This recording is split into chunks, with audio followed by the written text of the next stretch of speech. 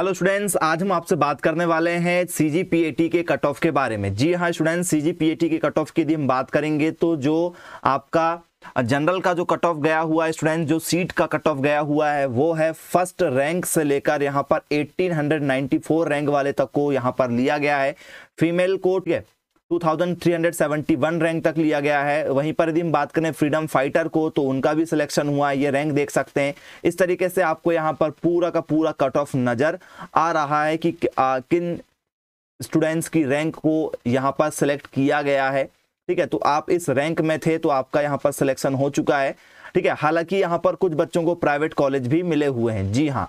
ठीक है government college के साथ साथ में आपको प्राइवेट कॉलेज भी मिले हुए हैं। ये सारी की सारी आप देख सकते हैं। ठीक है कॉलेज ऑफ़ एग्रीकल्चर रायपुर जो है स्टूडेंट्स वो है, ठीक है फ़र्स्ट रैंक से 29 रैंक वालों को लिया गया है। ठीक है फीमेल में 31 से 91 रैंक तक लिया गया यहाँ पर साफ़ साफ़ लिखा हुआ है, आप देख सकते हैं, ठीक है, कि भाई किसका क्या कट ऑफ़ गया हुआ है स्टूडेंट्स तो ये आप देख लीजिए, यहाँ पर सारी जानकारी दी गई है, ठीक है।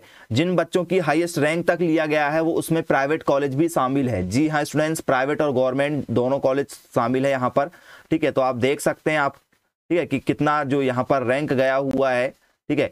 तो ये कुछ इस तरीके से आपको दिया गया है। सभी कॉलेज के लिए दिया गया कि भाई किस रैंक से कितनी रैंक तक गया गया है। S T S C O B C general सभी के लिए यहाँ पर, ठीक है, बताया गया है। तो आप इसे देख सकते हैं और सेकंड काउंसलिंग आपकी स्टार्ट ठीक है, हो चुकी है। आप सेकंड काउंसलिंग में पार्टिसिपेट करना चाहते हैं, ठीक है। तो इसके बाद हम नेक्स्ट वीडियो आपको बताने वाले हैं, ठीक है काउंसिल से रिगार्डिंग तो आप ज़रूर उसे वॉच कीजिएगा।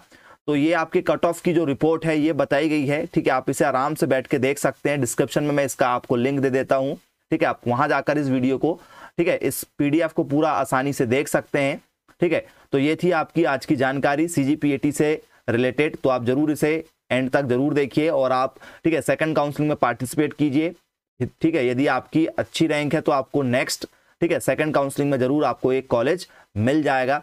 तो मिलेंगे फिर ऐसे ही अन्य वीडियो में। तब तक के लिए thank you and thank you for watching this video have a nice day